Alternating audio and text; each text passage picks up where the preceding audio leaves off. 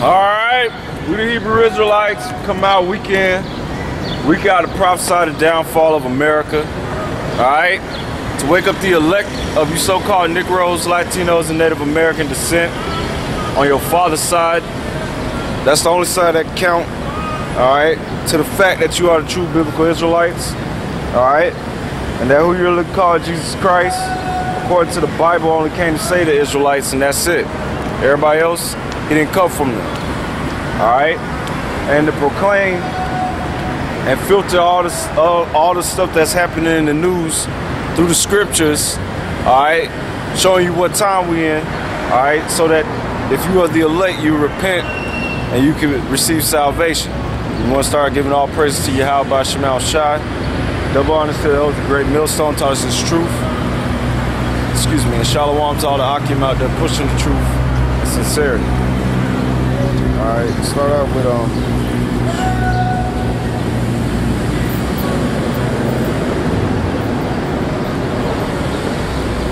Give me uh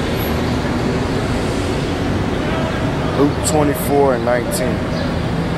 Alright? Like we always like to do, we like to go in about the signs of the time. Alright? Because we really call Jesus Christ. He spoke about what's happening now. I he gave you similitudes to look look to. Alright, a similitude is like a an example, alright, to convey the message. Alright? And he gave you the example of the days of Noah. So he said prior to his second return, it was going to be like the days of Noah. That's what we're going to touch on today. All right? Read this. Luke chapter 24, verse 19. Uh-huh. And he said unto them, What things? And they said unto him, Concerning Yahawashi of Nazareth, which was a prophet mighty in deed and in word before the, the Most High and all the people. That's right. So he was a prophet. All right? And the Lord spoke through the prophets. All right? Go to uh, Jeremiah 28, verse 7 through 9. All right? And anytime the prophet spoke, all right, through the Spirit of the Lord, this is what they was coming with. All right, let's see what the scriptures say the prophet spoke of. Jeremiah chapter 28, verse 7. Nevertheless, hear thou now this word that I speak in thy ear, Yeah. and the ears of all thy people. The promise that have been before me, and before the of old, You're going to have to lift it up. All this traffic.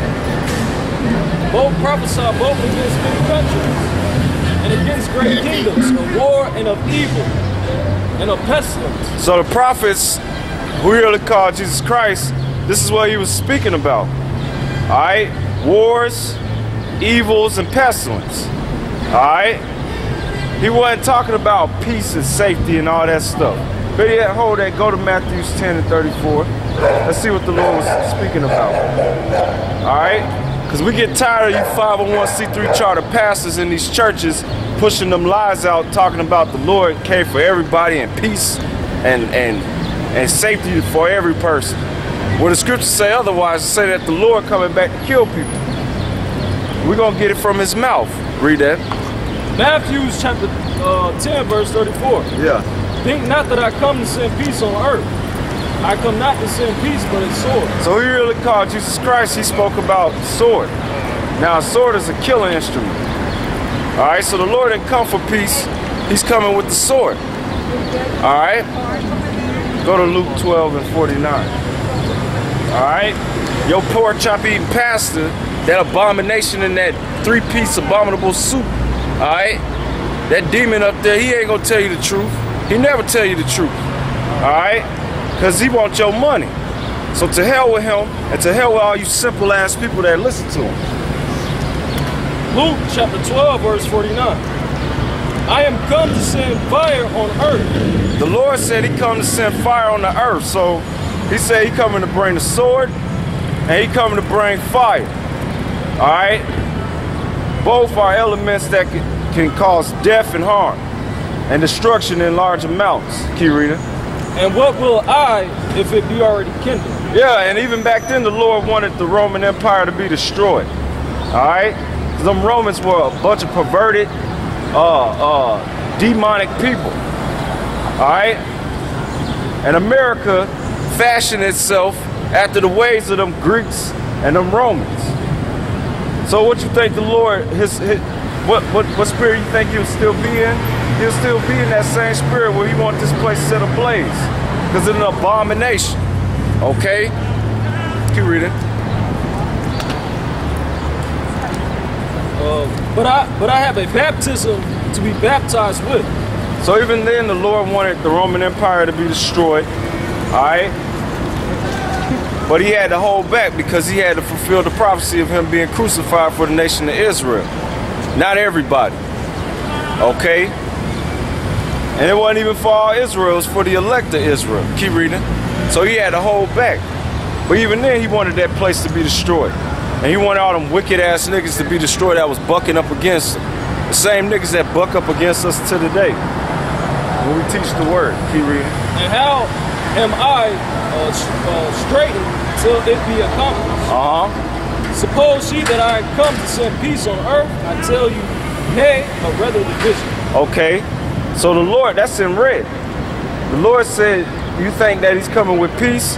He tell you nay. That means no in old English. He coming to bring division. So where where is this this so-called doctrine that your pork chop eating pastor be talking about? We say everybody gonna come together. God loves everybody. When you really call Jesus Christ, he just said he coming to bring division and the sword and fire. You people don't read your Bible. Amos chapter 5, verse 18. Yeah. Woe unto you that desire the day of the Lord. Woe means lamentation, grief, death, and destruction to everybody that's supposedly looking for the day of the Lord. They don't have no understanding of what the day of the Lord is. And that that that fits you Catholics, that fits you Baptists, you non-denomination, uh, so-called Christians, uh, you, you Islamic niggas, you uh, anybody that's saying they looking forward to the day of the Lord and they don't have no understanding of what it is, destruction unto you, man. Because you're gonna be destroyed. Alright? You're gonna find in that day that image that, that everybody cherished so damn much, that ain't the Lord. Okay? And more of these pastors go, are gonna die horrific deaths, either in car accidents, in these storms, they're gonna perish in these famines. Go to Jeremiah 14 and 10. They're gonna perish in these famines, alright? Because we get tired of these pastors down here in the South. These, these chucking and jiving bootleg pastors, alright? They're a bunch of demons. So the Lord gonna X them out real soon. Uh, Jeremiah chapter 14, verse 10. Thus saith the Lord unto this people, Thus have they loved to wander. they have not refrained their feet. Talking about our people, you so-called Negroes, you Latinos, and you Native Americans. Therefore the Lord doeth not accept them. That's why he ain't gonna accept two-thirds of our people. That that's a large percentage.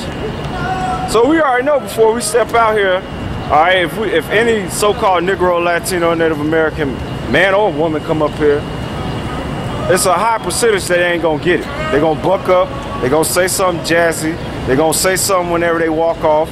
All right, they're gonna smirk, they're gonna scoff because it ain't for them. It's gonna be a small percentage that clings to this. All right, but all that's set up for their judgment. All right, because when all hell breaks loose, what the scriptures speak of, this time that's gonna be the worst time ever, they ain't gonna say, well, I never knew this, I never heard this, nobody didn't tell me. They always had an opportunity. All right, keep reading. He will now remember their iniquity Uh huh. and visit their sins. Yep. Then said the Lord unto me, Pray not for this people. So the Lord told Jeremiah not to pray for the children of Israel. Alright? And we be in that same spirit too, because we see you niggas. Alright, you Latin niggas, you powwow drumming niggas, and you simple ass niggas. We see all y'all, man. We, we be around you. Alright, we live around you, and we see you, and you niggas is wicked, man. Okay? But you be the main one screaming out you love the Lord. You be the main one that get the, the, the big old Cesare Borgia tattoo on your arm, because that's who you worship. That ain't the Lord. Alright? We alright? Or you wear that big old medallion, that, that Tifa Tammuz. Alright? You got the biggest Mother Mary